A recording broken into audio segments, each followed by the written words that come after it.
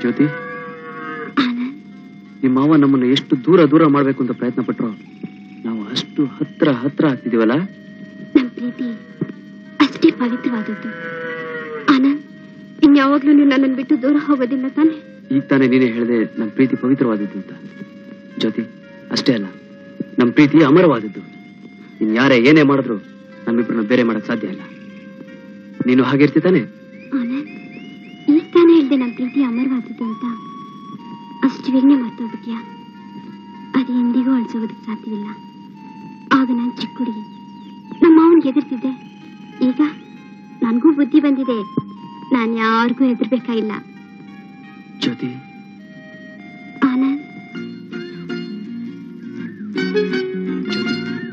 ಆನಂದ್ ಅಷ್ಟೊಂದು ಪ್ರೀತಿನ? ನಿನ್ ಮಾತು ಕೇಳ್ತಾ ಇದ್ರೆ ಹೀಗೆ ಇಟ್ಬೇಡ ಅನ್ಸುತ್ತೆ. ಪ್ರೀತಿ ಅಮರವಾಗಿರ್ಲಿ ಅಂತ ಹೇಳಿದ್ದು. ನಾವೇ ಹೀಗೆ ಮರ ನಿಂತಾಗ ನಿಂತ್ಬಿಟ್ರೆ ಹೇಗೆ? ಹಾಸ್ಟೆಲ್ ಗೊತ್ತಾಯ್ತು. ಹೋಗ್ಲೇಬೇಕಾ?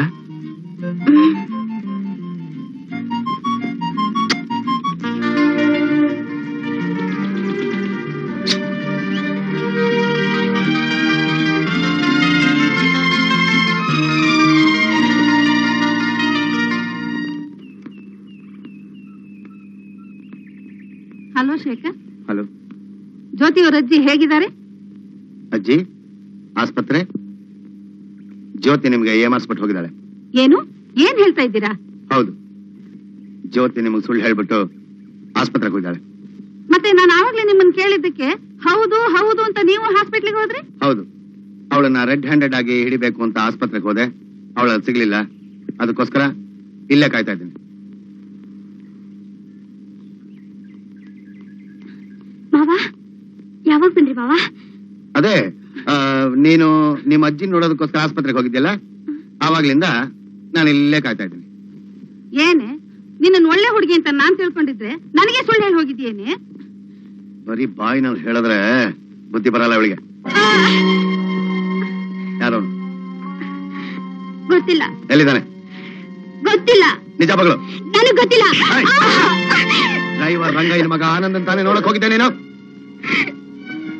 ಏನೇ ಮಳ್ಳಿ ಹಾಗೆ ನನ್ನ ಮುಖ ನೋಡ್ತಾ ಇದ್ಯಾ? ಹೋಗೋ ನಿನ್ ಡ್ರೆಸ್ ಎಲ್ಲ ಪ್ಯಾಕ್ ಮಾಡ್ಕೊಂಬ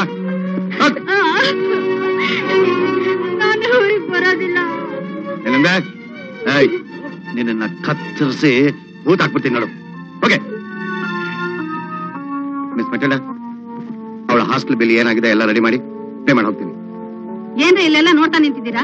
ನಡೀರಿ ಒಳಗಡೆ. ಮಹಾ ಓದ್ಕೊಳ್ಳೋದು ಊರಿಂದ ಓದೋದಕ್ಕೆ ಅಂತ ಇಲ್ಲಿ ಕಳ್ಸೋದು ಇವ್ರಲ್ಲಿ ನಮ್ಮ ಕೆಟ್ಟ ಹೆಸರು ತರೋದು. ಏಯ್ ಅವ್ರ ಮಾವನ ಬುದ್ಧಿ ನಿಂಗೆ ಚೆನ್ನಾಗಿ ಗೊತ್ತಿದೆ. ನೀನ್ ಅವಳ ಜೊತೆ ಸೇರಿದ್ರೆ ಅವನಿಗೆ ಆಗೋಲ್ಲ ಅಂತ. ಅದಕ್ಕೋಸ್ಕರ ನೀನ್ ಚಿಕ್ಕ ವಯಸ್ಸಿನಲ್ಲಿ ನಿಮ್ಮಿಬ್ಬರನ್ನು ಬೇರೆ ಮಾಡಿ ದೂರ ಇಟ್ಟಿದ್ದು. ನೀವು ನಮ್ಮನ್ನ ಬೇರೆ ಮಾಡಿದ್ರು. ಆ ದೇವ್ರು ನಮ್ಮನ್ನ ಮತ್ತೆ ಒಂದ್ ಮಾಡ್ಬಿಟ್ನಪ್ಪ. ಅಪ್ಪ ನಾನು ಜ್ಯೋತಿ ಒಬ್ರನ್ನೊಬ್ರು ಪ್ರೀತಿಸ್ತಿದೀವಿ. ಮುಚ್ಚ ಬಾಯಿ.